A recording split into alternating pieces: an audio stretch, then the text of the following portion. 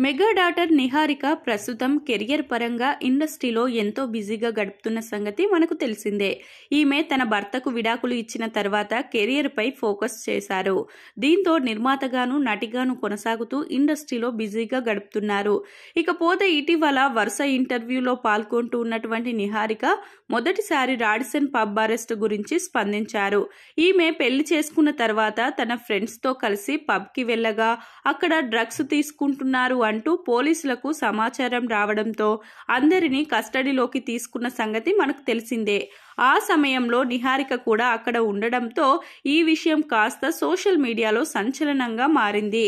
ఇలా ఈమె పబ్లో అరెస్ట్ కావడంతో తన భర్తతో మనస్పర్ధాలు వచ్చాయని అందుకే విడాకులు కూడా తీసుకుంది అంటూ వార్తలు వినిపించాయి. ఇకపోతే మొదటిసారి ఈ పబ్ ఘటన గురించి నిహారిక స్పందించారు. అన్యాయంగా నన్ను ఈ కేసులో ఇరికించారంటూ ఈమె మండిపడ్డారు. నేను మామూలుగానే పబ్కు వెళ్ళను. అది నా ఫ్రెండ్స్కి కూడా తెలుసు. ఆ రోజు నేను తన స్కూల్ ఫ్రెండ్స్ని కలవడం కోసం అక్కడికి వెళ్ళాను. చాలా రోజుల తర్వాత ఫ్రెండ్స్ అందరూ కలవడంతో పార్టీ చేసుకోవడం కోసమే అక్కడికి వెళ్ళానని ఈమె తెలిపారు.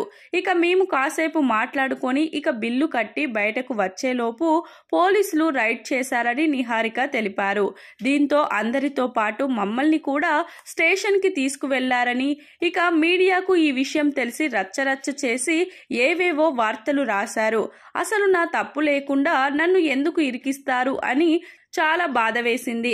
అయితే చాలాసేపటికి నాకు అర్థమైంది. అక్కడ కొంతమంది డ్రగ్స్ తీసుకుంటున్నారని అందుకే పోలీసులు అరెస్టు చేశారని అర్థమైంది. నేను తప్పుడు ప్రదేశంలో ఉన్నానని చాలా ఆలస్యంగా అర్థం చేసుకున్నాను అంటూ ఈ సందర్భంగా నిహారిక ఘటన గురించి స్పందిస్తూ చేసినటువంటి ఈ కామెంట్స్ వైరల్ అవుతున్నాయి.